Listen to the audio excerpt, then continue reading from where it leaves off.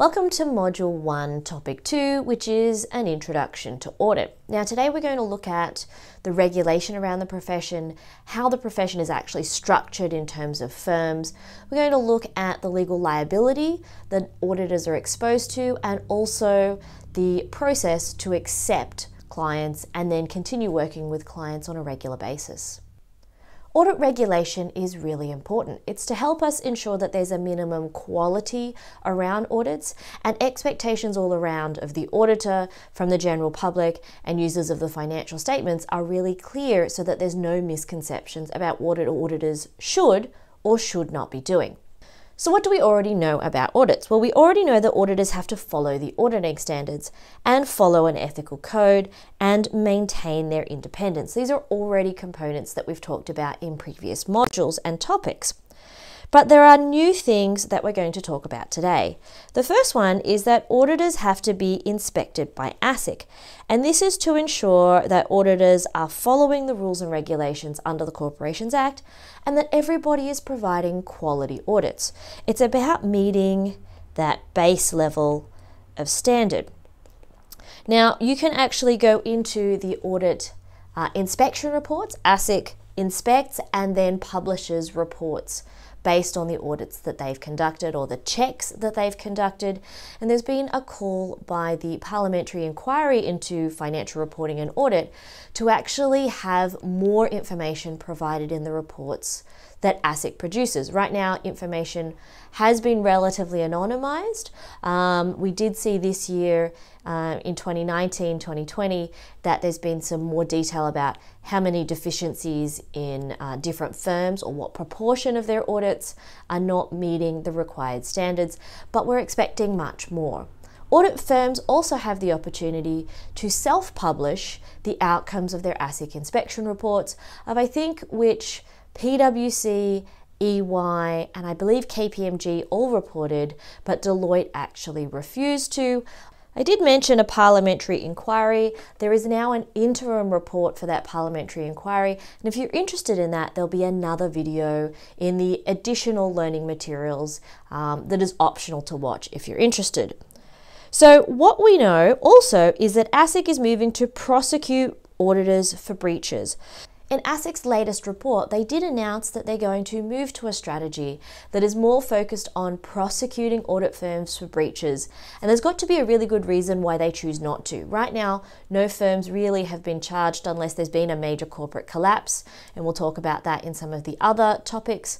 But Right now, they're not choosing to prosecute. That's definitely going to change moving forward because ASIC has taken this approach of prosecute unless there is a reason not to. So it'll be really interesting to see how that plays out over the next 12 to 18 months and whether that really does change auditor behavior. Um, we know that about 25 to 30% of audits are deficient, they're not meeting the basic standards of the ASAs. It will be interesting to see the next set of inspection reports to see if this threat of prosecution will actually help improve audit quality. So let's look at the structure of the profession. If you've never worked in a public accounting practice before, then understanding how a firm is structured, what the industry is like, is really important so that you can get some context of what we're going to be talking about in this course. Later on, we might ask you to assume the position of an audit senior or an audit manager to imagine what different people might do. So, this information is to help you try and get a picture of what the audit firms are like. So, let's look big picture first at the helicopter view. So, we know that this is all the players in the game. You've got the big four, and the big four are are four big firms PwC, which is one of the ones I used to work for, EY, KPMG, and Deloitte. Um, the big four started out as the big eight, went down to the big six, then down to the big five, mostly due to mergers um, within the top players. Uh, we did see one player drop out, that was Arthur Andersen, after the WorldCom and Enron scandals back in 2001, I think it was. So you've got the big four players, and the big four players, they provide a whole range of different services. They provide audits, they provide tax, they provide consulting. Now, besides the big four, you also have a large number of second tier firms. These are still firms that are global. So the big four are global. Our second tier network is also quite international. So that's organizations like Grant Thornton, it's organizations like BDO. Um, there's a number of different second tier um, audit firms. Uh, there's probably maybe 10 of those in total in that second tier. They still work on a model of offering audits, tax, and consulting. Then you've got a lot of small to medium sized firms, and there are a whole range of different sizes. So you've got, for example, Walker Wayland, which is a medium sized audit practice, right down to really small practices that might only have something like one or two partners and then a whole range of staff underneath them. So there are thousands of firms within this ecosystem. It's not just the big four and the second tier because lots of different sizes of firms need audits for different reasons. If you're a publicly listed firm, then you need an audit because the Corporations Act and the Australian Stock Exchange says that you have to have one. But if you're a smaller company, you might be going for an audit to get a better deal on a bank loan. You might be having to have an audit if you're a charity, if you receive government grant money, so public money. There's lots of different reasons why firms need audits. Now, over here, you'll see ASIC, and you'll see the little uh, eye with the um, magnifying glass there. And ASIC is really the one that oversees the market. They're our corporate regulator, um, and they're overseeing all of the big four firms. They also oversee corporations, but they're overseeing audit firms. Now, over here in orange, you've got the accounting professional bodies. And we've got chartered accountants, which you might sometimes see written down as CAANZ, CPA Australia, IPA, and also the ACCA. Now, the biggest players in the country are Chartered Accountants and CPA Australia. They're probably, um, that's where most people who are public accountants sit, but we are seeing growth in areas like ACCA, which is not a qualification that we um, talk about really a lot at university, but I can give you some more information if you're interested. Now, the professional bodies, all of these accounting firms are members of the professional bodies. So every partner has to have a certificate that it's going to allow them to practice in public, um, and ASIC has to register them. ASIC will also register auditors. Oh, that's not very helpful there in that black color. There's also a register of company auditors. Um, sometimes that's the partner, sometimes that's also lower level staff that become registered company auditors. Those are the people who can actually sign an audit opinion. So, chartered accountants advocates for members. Um, they also inspect the work of members as well as ASIC. ASIC inspects all of the big four every single year and a sample, not a random sample, but a specific sample of smaller tier firms. Chartered accountants also does inspections of smaller firms. It doesn't tend to do inspections of bigger firms because that's now being done by ASIC. But this is the overarching environment and the main players within the audit game. So, what does it look like inside the firms? Well, I mentioned earlier that inside the firms, your partner is going to be ASIC registered because their role is to sign off on the opinion. We have our audit opinion and our audit report, and they have to sign their name. They're legally responsible. But you'll notice that firms are shaped like pyramids. We start with our graduates or our cadets or our trainees or our interns. We're seeing um, cadets and trainees are typically straight out of high school. They go to work at a firm while they're studying part time. Graduate auditors, just like the name suggests, is after graduation. Senior auditors typically get to that particular role once they've completed their CA or their CPA qualification. Now, the CA qualification is more common within the audit world. Um, CPAs, we see lots of CPAs everywhere, and CPAs do exist in the audit profession, but the majority are CAs. Now, how this works is also that the senior auditor is responsible for checking the work of a junior auditor. So maybe that's the graduate or the trainee or the intern. You'll have seniors on top of seniors, one level up. You'll have managers. Now, some firms will also have an assistant manager level sort of in between there. But managers usually will handle the day to day running of an audit, scheduling what people are doing, um, and the managers also check the work of the senior auditors. So you'll notice that there's many layers of checks and balances. So, managers are responsible for running things day to day. Um, more experienced managers might be called senior managers. Then you have directors, and at the very top is the partner. So, the partner is the ultimate responsibility. Um, and this pyramid is a really good example of how numbers also work within these firms. So, there's a lot more graduates and trainees than there are partners. On a team, there might be a partner, there may also be a director. Uh, so directors are essentially partners in development.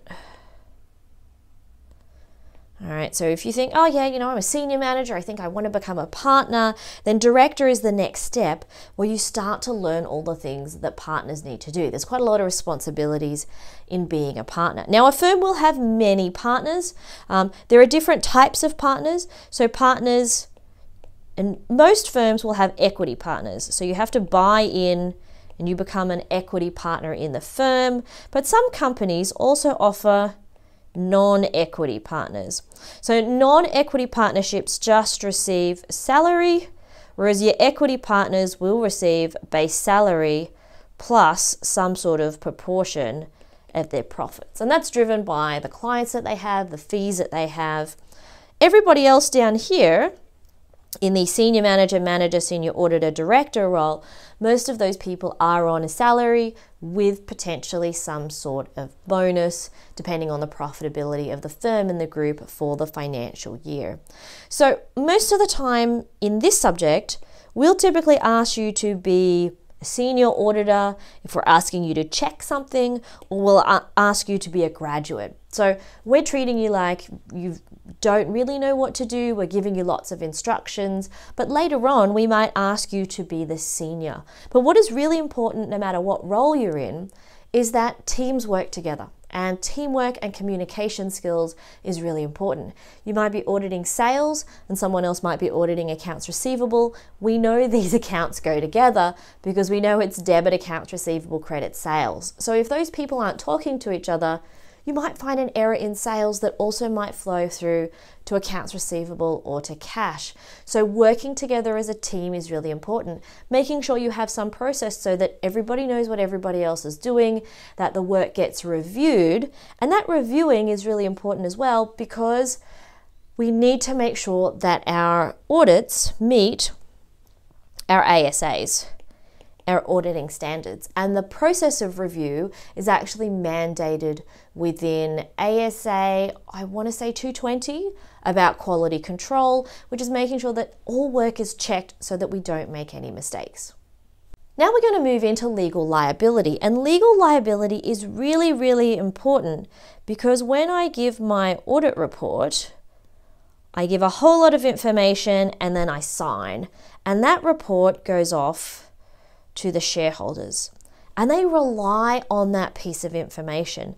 There is reliance for the shareholders to make decisions. So if we give information that is incorrect, incomplete, then these decisions over here might not be the best decisions that were made. They might be suboptimal. So there is the potential for legal liability associated with giving an audit opinion. An example of one here is a case with PwC where there was a $2.1 billion mistake in the classification of debt. It should have been classified as current. Instead, it was non current. Um, and the partner who made this mistake ended up being unable to practice audits for a number of years. They were banned from being an audit partner, which, if you're a partner, means that you can't earn any income. Um, there are certainly big effects in terms of reputation um, if you get sued. Okay, just like if you made a product, it ended up being faulty, it spread like wildfire on social media, the reputation of an audit firm is one of its biggest assets. So, protecting that reputation by doing audits correctly is really, really important. But today, the focus in this video is about understanding the whole legal structure that exists around audits so that we can try and minimize any breaches that might result in legal liability and lawsuits because nobody wants to get sued. There are three ways in which auditors are exposed to legal liability. The first one is contract law. All right, when you have a client, you sign a contract, and remember the terms of that contract will set out everybody's responsibilities. Who does what, when do they pay, everything. So the terms of the contract set out what each party is supposed to do. So, contract law is the first part where we could be exposed to liability if we don't do what we're set out to do. The second area is the tort of negligence. All right, now remember, a tort is not based on a government regulation, it's based on legal cases and precedents. And precedents are essentially where judges make decisions about court cases and those judgments form the rules by which everybody else needs to follow. But of course, as we move through time, society's expectations change, um, the judges and the government's expectations change, and so sometimes our rulings about certain behavior or what auditors are supposed to do do evolve over time. So the tort of negligence is always evolving with new cases.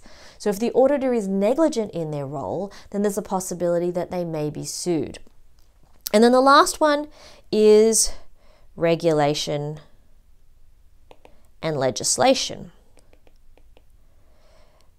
And that regulation and legislation comes from a couple of different areas.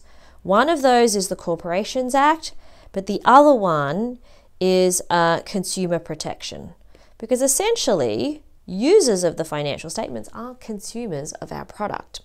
So now we're going to dig into each of these in a little bit more detail. Overall, the auditor has a duty of care. They have a duty to exercise a reasonable skill and care expected of a professional. So, what do we mean by reasonable? Um, anything that the average auditor would expect of that particular product or service. That does include making sure that we adhere to regulatory and professional standards. So for us, the Corporations Act and the Consumer Competition Act and professional standards, including our ASAs and our APESs.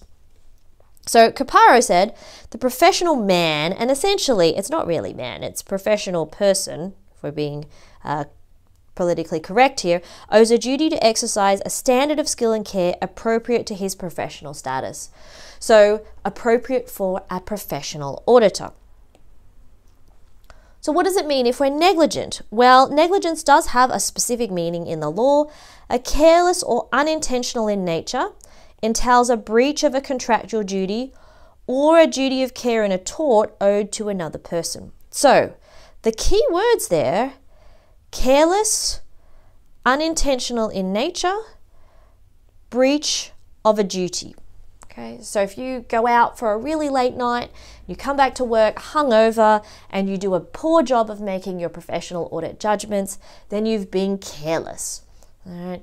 Now, notice here it doesn't say intentional. If you're intentionally doing the wrong thing, then you've potentially engaged in fraud and in some instances, a criminal act, which would not fall under the tort of negligence, it would fall under a different jurisdiction. So, in the context of audit, we would have been negligent if we made a judgment or error that what a normal, reasonable auditor would not have made in the same situation. How do we tell if that's the case?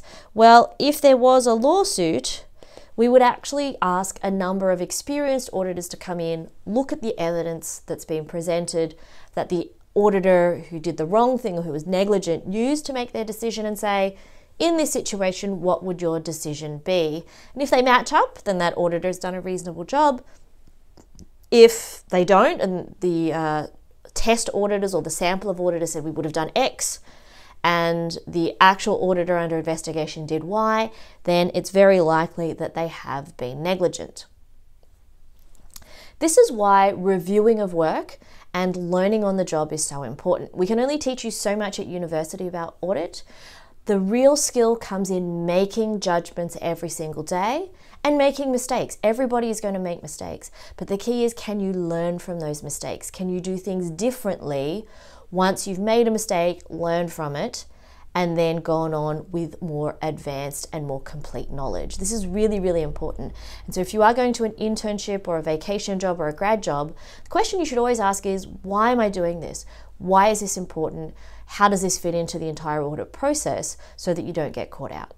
Now, I mentioned before that our duty of care to people in a contract, our management of our client, is really, really easy because in contract law, we know that we have the audit firm and we have the client and we have our contract and we can sue based on those details. But remember, the client is essentially management. What about shareholders? All right, what about other people that might use the report, like banks or other forms of lenders?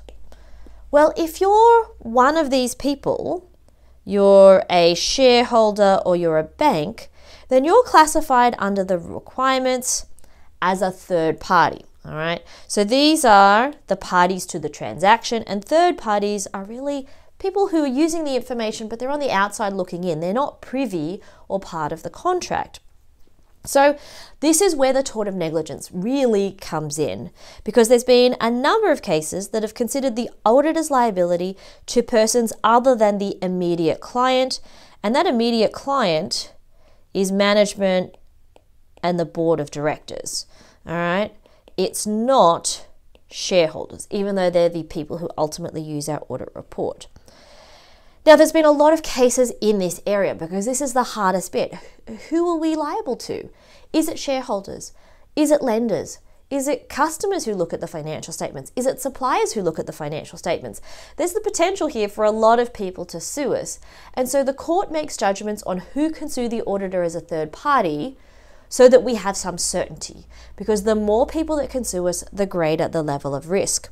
Now, that term for a case to be successful, the plaintiff, the third party, must establish and prove a reasonable degree of proximity. And this word proximity is the key critical term here. It says you need, and we think about proximity like there's my camera to me, that's proximity. So proximity sometimes means distance, but it doesn't mean physical distance, it means legal distance.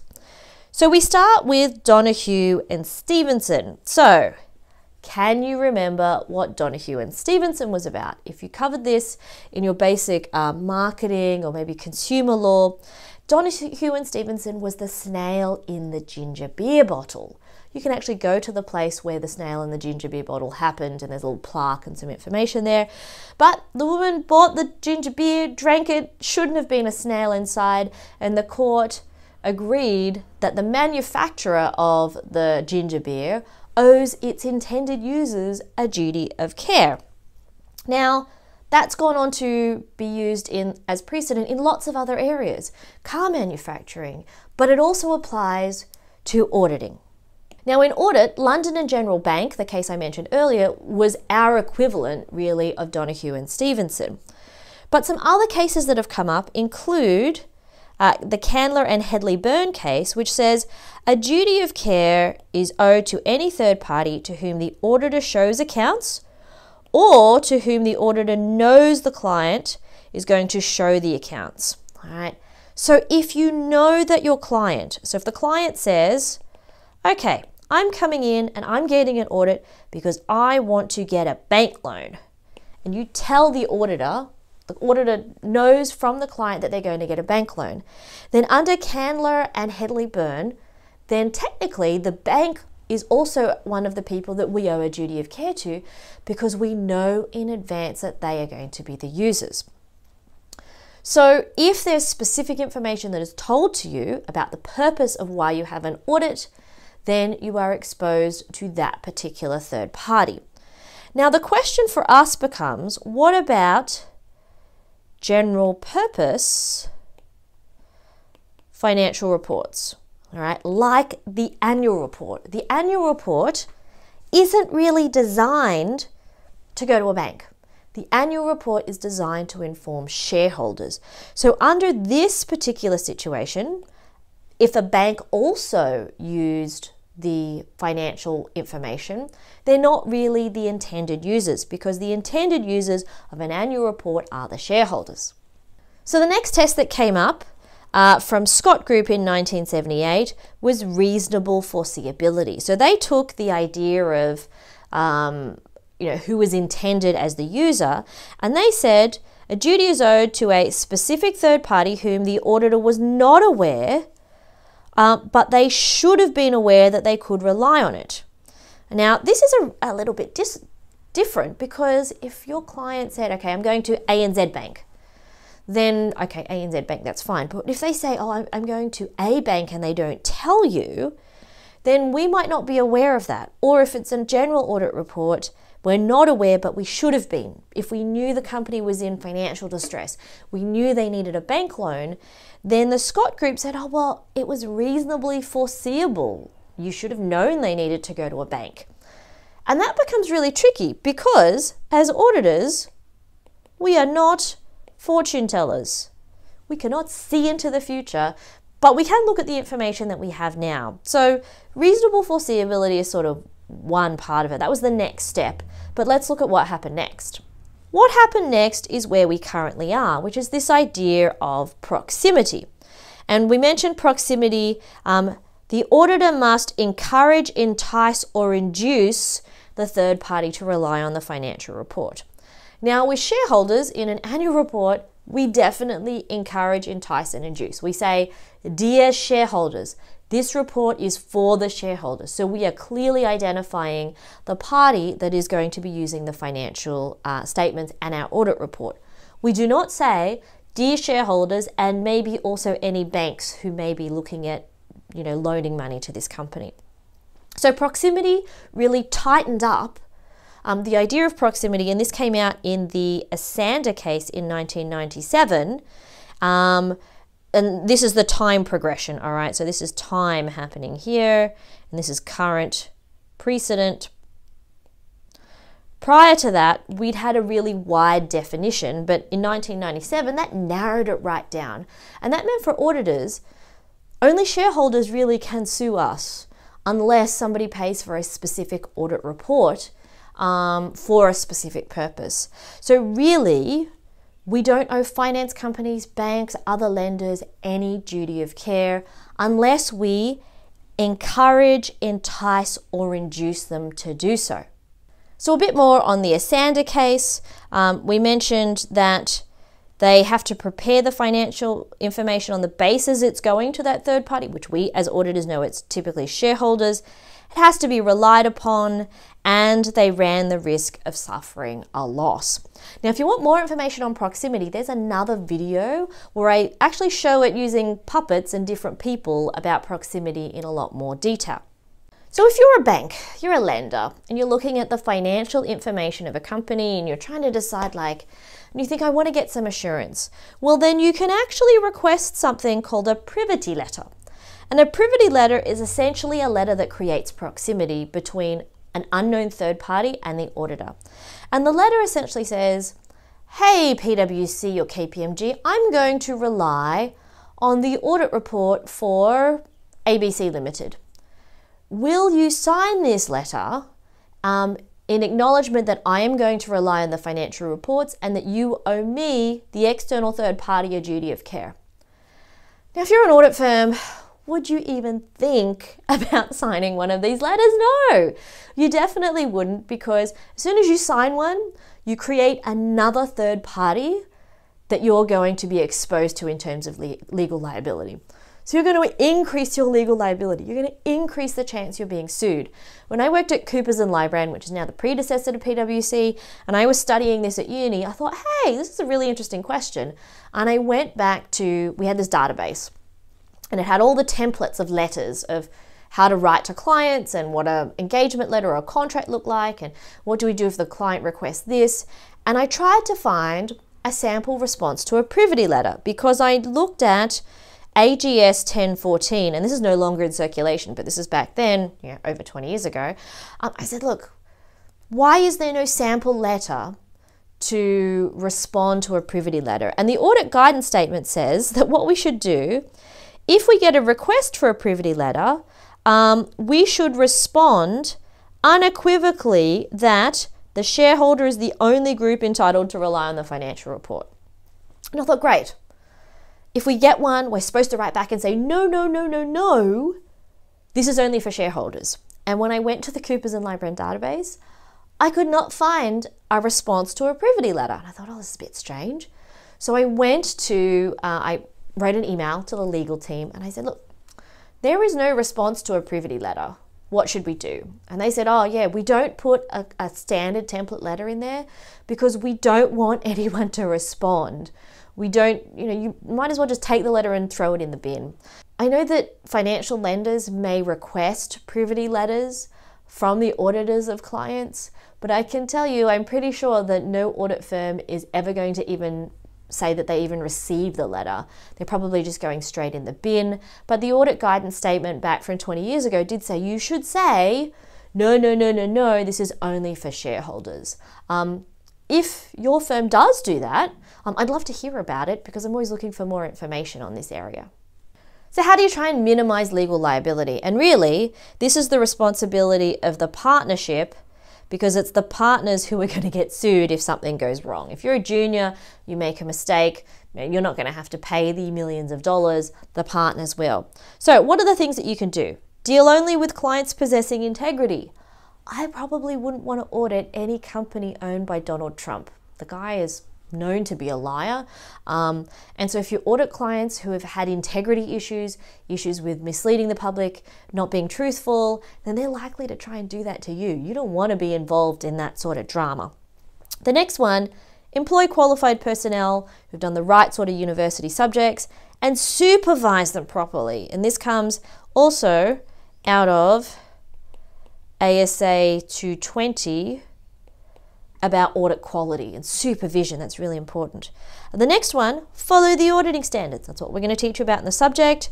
Maintain independence. We have to do that under APES 110 and the Corporations Act. So it's a legal requirement. We're going to learn about the next one a lot more. Understand the client's business. This is going to be really critical in audit.